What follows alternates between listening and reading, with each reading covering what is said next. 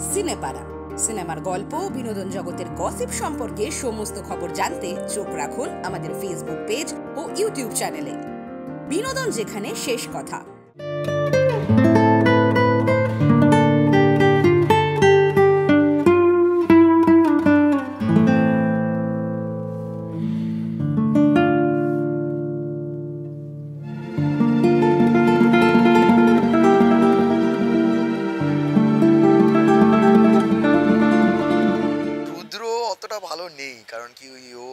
এখন বিষ খেয়ে নিয়েছে। ব্যাপারটা হচ্ছে খুব গভীর ব্যাপার। ব্যাপারটা হচ্ছে রুদ্র জানতে পারে গৌরীর কোনো রকম একটা বিপদ আছে, কারণ কি লোকেশের সাথে একটা টাসেল মতন হয়, দিয়ে তারপর ও জানতে পারে গৌরীর কোনো বিপদ আছে। এবার কি বিপদ সেটা আস্তে আস্তে ফিগার আউট করতে করতে জানা যায় কি গৌরী অ্যাকচুয়ালি সরস্বতী পুজো স্কুলে, আকন্দপুরের স্কুলে যে সরস্বতী পুজো আয়োজন করেছিল, সেটার ম- সেটাকে পণ্ড করার জন্যই লোকেশ কী করে? লোক টোক লাগিয়ে ওই সব ভোগে, সব পুজোর সব ভোগে বিষ মিশিয়ে দেয়। এবার সেটা জানতে পারে, এবার ও ছুটে আসে।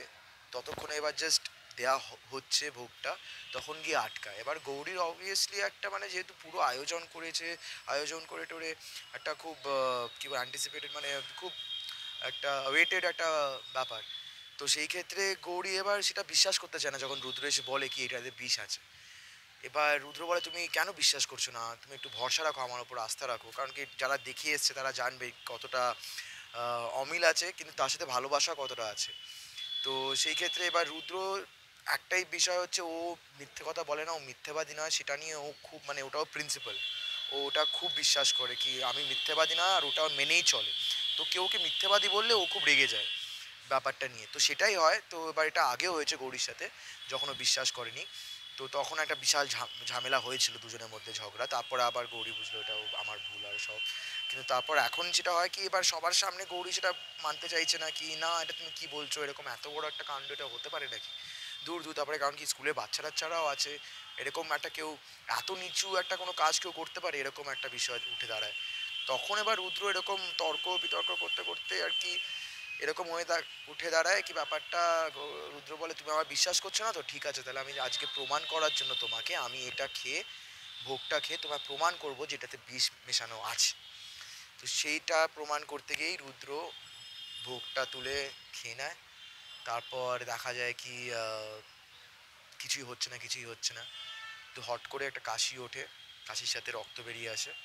তখন এবার দেখা যায় কি, রুদ্রও বলে কি, দেখো অ্যাকচুয়ালি বিষ ছিল।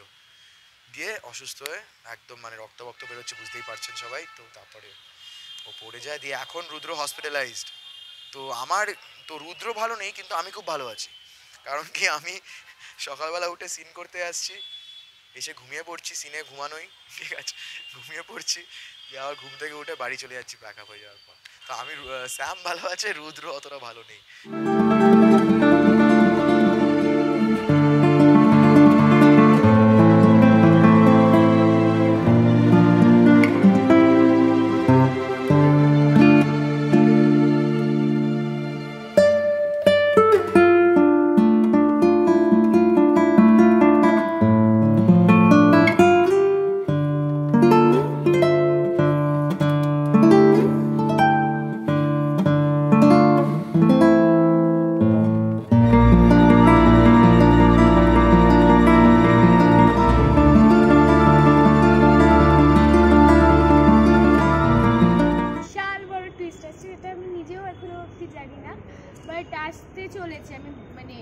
যতটা জানি যে আমাদের লাইফে একটু ভালোবাসা, প্রেম আসতে চলেছে। তার জন্যই এত সুন্দর করে সাজা আমার। তো সেটাই আই থিঙ্ক আসতে চলেছে। পুরোপুরি হচ্ছে কিনা সেটাও আমি এখনও বলতে পারছি না। সেটা দর্শক, আমি নিজেই জানি না তো দর্শককে কি জানাব।